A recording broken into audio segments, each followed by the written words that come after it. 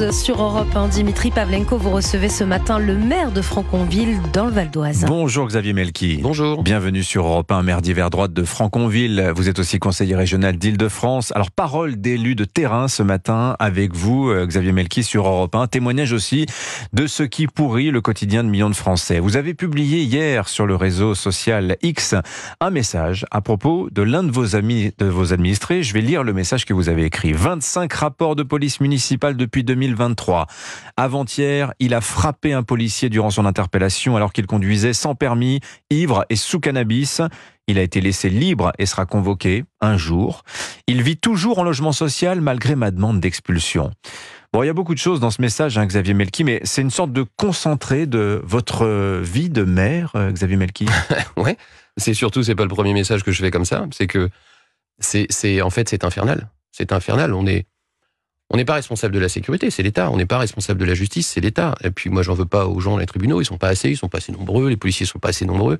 Mais euh, quand on est confronté à des familles qui peuvent pas se loger, qui sont euh, cinq dans un appartement parce qu'ils travaillent du matin au soir et qu'ils n'ont pas assez d'argent, et que on voit en face euh, des personnes comme ça qui ne respectent rien, euh, ouais, on peut s'interroger, ouais. Il y a vraiment un sujet de tension euh, aujourd'hui autour du logement social, de ces familles ouais. qui en disposent et qui pourrissent la vie de la collectivité. Et des familles, des gens viennent vous voir en vous disant, mais pourquoi eux, ils ont un logement social, moi j'en aurais besoin et j'en ai pas, est-ce qu'ils le méritent? On vient vraiment vous solliciter on a, alors, pour ça. On a des, on est, c'est tous les jours qu'on a des demandes de, de, de logements ouais. sociaux. Moi sur Franconville, on a 15 000 logements en tout. Euh, J'ai 2200 demandes de logement social. Donc euh, parfois justifiées, parfois non justifiées, parfois anciennes. Mais c'est vrai que euh, il y a une forme d'inéquité dans le traitement et dans l'accès au logement social, évidemment. Alors, mmh. si la seule réponse est d'en construire plus, bah oui, c'est facile comme mmh. réponse, mais pour loger qui? Mais pour revenir à, à, cette personne dont vous parlez dans votre message, c'est vrai que c'est quand même ahurissant, euh, une situation d'impunité permanente euh, totale. Il y a beaucoup de cas comme celui-ci chez vous. J'en ai une quinzaine en tout, à peu près. Oui. Ben, c'est pas le pire, hein. j'en ai un 56 rapports de police, agression aux forces de l'ordre, trafic de stupes, vol avec agression, vol de voiture, refus d'obtempérer, tapage. Oui. Voilà, j'en ai un autre, une famille qui a 16 rapports de police, violence en réunion, tentative de vol, dégradation, recel, rix, violence. Oui. Ouais, il y en a, bien sûr, il y en a. Alors ça fait pas beaucoup quand même à l'échelle d'une commune 15 euh, Non, c'est pas beaucoup, ouais. c'est vous savez dans une, un immeuble de 52 appartements, il suffit d'une ou deux personnes. Qui se mettent à contrôler en bas et puis ça pourrit toute la vie de mmh. toute la vie du quartier. Alors vous dites euh, vous avez demandé l'expulsion oui. de cette personne. J'imagine que pour les autres euh, vous avez systématisé un petit peu le, le, le procédé. Euh, l'expulsion du logement social et, et ça n'aboutit pas? Alors on a euh, en fait on, on, contraint le bailleur à respecter son bail, c'est-à-dire mmh. que dans le bail il y a marqué que le locataire ne doit pas troubler le, la jouissance de ses voisins, de ses des colocataires. Oui. Donc euh, bah nous on lui dit bah voilà j'ai un certain nombre de rapports de police ces rapports de police municipale sont transmises au service de l'État. Rapprochez-vous entre avocats et puis organisez, posez sur le bureau le, le, dossier, le bureau du juge l'expulsion. Et puis euh, l'année dernière, on a réussi à faire expulser comme ça 7 ou 8 familles. Voilà, puis après la trêve ah, donc hivernale, ça va... donc ça fonctionne quand même. Ah bah, hein ça fonctionne. En fait, le, le, le problème c'est de faire le, le, c'est de faire constituer le dossier. Donc moi, je, je contrains vraiment le, J'incite fortement, très fortement le bailleur à constituer le dossier. Donc, euh, vous êtes euh, le premier magistrat de votre commune hein, quand vous êtes euh, maire, mais vous êtes aussi huissier d'une certaine manière. Vous constituez comme ça des dossiers pour... non.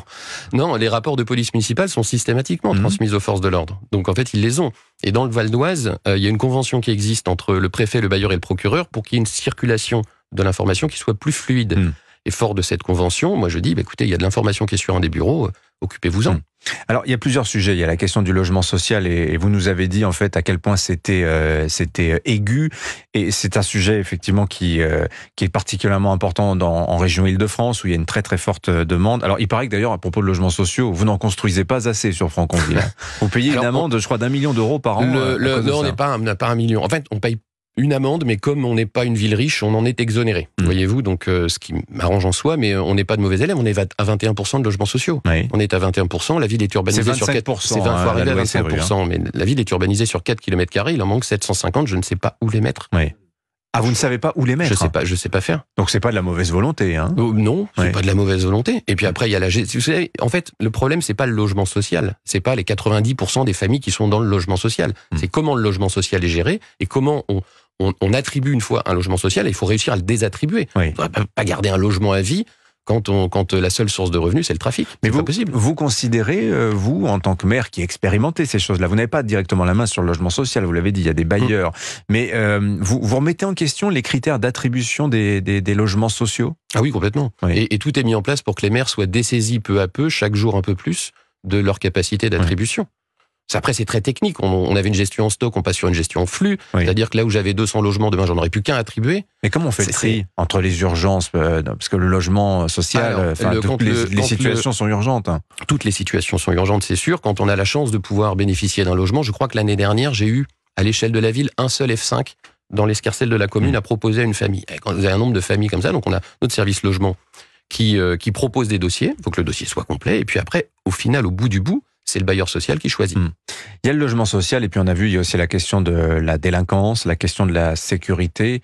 Euh, vous avez reçu des menaces, hein, vous d'ailleurs, euh, l'année dernière. On vous reprochait euh, sur un, un banc de ne pas avoir rénové le City Stade. Mais Oui, euh, les gens qui disent ça menacent tout de suite la Le- vie de votre famille. Le- Enfin, c'est- le- le- en fait, aujourd'hui, les maires, alors moi, comme d'autres, en fait, je, Ouais. je- dès, il suffit qu'on essaye de remettre un peu l'autorité en place, c'est, on est tout de suite sujet à des menaces. Mm. Euh, Les, les profs, les policiers, les maires, tout ce qui représente finalement un peu l'autorité Ouais. aujourd'hui. Donc ouais, les- beaucoup de maires en ont marre. Mm. Je crois que à la moitié du mandat 2020-2026, il y avait plus de démissions que Ouais. sur l'ensemble du mandat précédent. Et alors autour de vous, après les émeutes, hein, ça a été Mm. particulièrement dur chez Mm. vous aussi à Franconville, enfin comme dans toute la, la région Île-de-France et comme dans beaucoup de villes en France. Euh, Il y a un avant, il y a un après avec vos collègues maires. Vous en parlez euh, de cette situation? Non, on a mis la poussière sous le tapis. Ouais.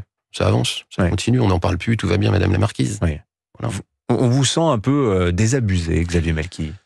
pas désabusé. euh, c'est- on n'est plus dans de la colère, on est au-dessus en fait. C'est, euh, on tient parce que euh, parce que les élus locaux, si on, on lâche, c'est y a tout qui tombe en fait. Hmm. Le- on est encore le dernier lien où les gens ont confiance en nous. Et puis et puis bah on fait pas ça. Moi je fais pas ça pour. Je me suis pas levé un matin en disant tiens on va essayer de faire expulser quelqu'un de son logement. On a des milliers de familles qui arrivent pas à se loger. Et aujourd'hui, bah, si nous on, on pousse pas un peu, il se passe rien. Euh, le- les, les polices municipales, la police c'est l'État. Les villes ont créé une police municipale. Le, le- la justice c'est l'État. Le, le- on a l'État qui est défaillant Hmm. sur euh, un grand, grand, grand, grand nombre de ses compétences. La police nous, de municipale, ça devait être la police en plus, et en fait, euh, c'est la, Bah, police à la place. de- ouais. Ouais, Ouais. c'est la police à la place, et, et heureusement qu'on les a. Euh, et on travaille, euh, moi, mes agents travaillent très très bien avec les, les policiers nationaux. C'est c'est de- c'est de- des partenaires, ils sont quasiment d'égal à égal. Merci Xavier Melki de votre témoignage, d'être venu euh, ce matin sur Europe 1. Je rappelle que vous êtes euh, le maire d'hiver droite de Franconville, dans le Val d'Oise. Merci à vous, bonne journée.